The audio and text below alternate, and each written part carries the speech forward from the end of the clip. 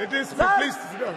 ए उग्रवादी बोलने नहीं दूँगा please. कभी खड़ा होगा तो। ये बता रहा हूँ ए उग्रवादी कटवे आतंकवादी है उग्रवादी है ये मुल्ला आतंकवादी है जो वीडियो इस वक्त आप देख रहे थे उस वीडियो में आपने देखा होगा कि एक सांसद दूसरे सांसद को दम भर गलिया रहा है और भारतीय लोकतंत्र के इतिहास में पहली दफे आपने शायद वीडियो देखा होगा क्योंकि एक सांसद और दूसरे सांसद के बीच भले ही राजनीतिक दूरियाँ चाहे कितनी भी क्यों ना हो जाए, लेकिन मर्यादा हर बार देखने को मिलता है।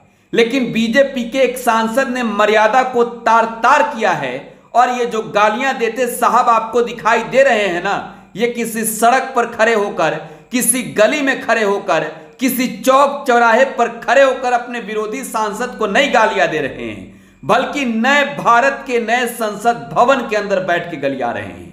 जरा सोचिए संसद भवन के अंदर, अगर भाजपा के एक सांसद को भाजपा का एक सांसद इस तरीके से बोलता है तो आपके जेहन में क्या सवाल उठेंगे?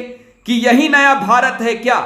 जिस बात की चर्चा नरेंद्र मोदी हर बार करते हैं नए भारत का, क्या यही नया भारत है कि अपने विरोधी गुट को सत्तारूढ़ दल का सांसद खुलेआम संसद भवन के अंदर कहेगा कि तुम भड़वा हो, तुम कटवा हो, तुम उग्रवादी हो तुम मुल्ला हो, तुम आतंकवादी हो। आपके जेहन में ये सवाल ज़रूर उठा होगा, लेकिन ये सवाल सिर्फ़ आपके जेहन में नहीं उठा है, बल्कि हिंदुस्तान के हर एक नागरिक ये सवाल पूछ रहे हैं कि बीजेपी के सांसद रमेश विदोरी को इतनी हिम्मत किसने दी? क्या नरेंद्र मोदी अपने सांसदों को यही पाठ पढ़ा रहे हैं कि संसद भवन के अंदर जाकर अपने विरोधी गुट को सांसदों को गलियाओ? वो भी जानते हैं किस मुद्दे पर? चंद्रयान थ्री के मुद्दे पर। भारत के वैज्ञानिकों ने इतिहास रचा। चंद्रमा पर पहली बार सॉफ्ट लैंडिंग हुई, साउथ पोल में चंद्रयान की। लेकिन जब बात क्रेडिट लेने की है तो होर लगी है क्रेडिट लेने वालों में, और ऐसे में नरेंद्र मोदी और बीजेपी का नाम सबसे अव्वल दर्जे पर है। ये जो बीजेपी के सांसद महोदय जिसे गालियाँ दे रहे हैं ना, वो सांसद भाजपा के हैं। नाम है दानी सली जरा सोचिए दानी सली को जिस तरीके से संसद भवन के अंदर गालियाँ दी है रमेश विधुरी ने, अब तक अगर कोई विपक्षी गुट का सांसद होता तो पता नहीं क्या से क्या हो गया रहता। सियासत हो रही है, अब बयानबाजी इस पर शुरू हो गई है, लेकिन इस बीच इसी संसद भवन के कभी सदस्य रहे वह बिहार के पूर्व मुख्यमंत्री रहे लालू प्रसाद यादव ने भी अपना गुस्सा ज़ाहिर किया है। लालू यादव ने लिखा है सोशल मीडिया के प्लेटफॉर्म एक्स और फेसबुक पर प्रधानमंत्री ने देश की समृद्ध संसदीय परंपराओं के विरुद्ध ऐसी विकृत सामाजिक, राजनीतिक, संस्कृति को जन्म दिया है, जिसमें इनकी एक सांसद राष्ट्रपिता गांधी के आतंकवादी का महिमा मंडन करती है। पीएम के इशारे पर एक बीजेपी सांसद पार्लियामेंट के अंदर विपक्ष के एक सांसद के लिए, जिस अमर्यादित असंसदीय और तुच्छ भाषा का प्रयोग कर रहा है, वो घोर आपत्तिजनक है, निंदनीय है एवं लोकतंत्र व समाज के लिए चिंताजनक है। यह इनका अमृत काल नहीं, बल्कि विषकाल है।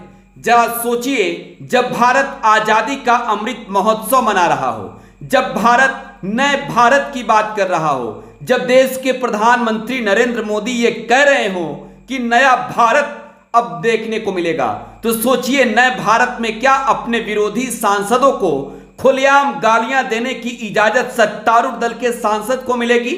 वो भी पार्लियामेंट के अंदर।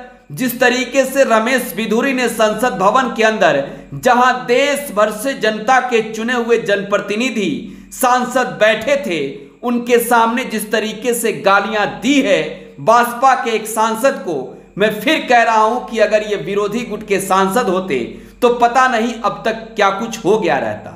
लेकिन सवाल अब भी है कि साहब, आप आगे क्या करेंगे? अब दानिश सली ने स्पीकर को पत्र लिखकर कार्रवाई की मांग की है।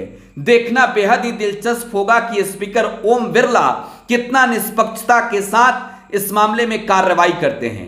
क्योंकि लाइव सेशन से पूरे देश भर के लोग जुड़े होते हैं और लोकसभा की कार्रवाई पूरे देश भर के लोगों तक पहुँचती है, तब लोग जब ये कहेंगे कि नए भारत में नए संसद भवन के अंदर विपक्षी गुट के एक सांसद को सत्तारूढ़ दल का सांसद रमेश विधुरी खुलेआम गालियाँ दे रहा था, कटुआ कह रहा था, मुल्ला कह रहा था, आतंकवादी कह रहा था, भरवा कह रहा था और आतंकवादी कर रहा, कह रहा था, तब देश के प्रधानमंत्री नरेंद्र मोदी का सीना जो चौड़ा था, वो सिमट नहीं गया क्या? देश की जनता ये पूछेगी कि नरेंद्र मोदी जी आप कैसे कहेंगे भारत के लोगों को कि ये हमारा नया भारत है? आपकी क्या प्रतिक्रिया कमेंट बॉक्स में छोड़ जाइएगा। फ़िलहाल आप टुडे बिहार न्यूज़ के साथ बने रहें। धन्यवाद।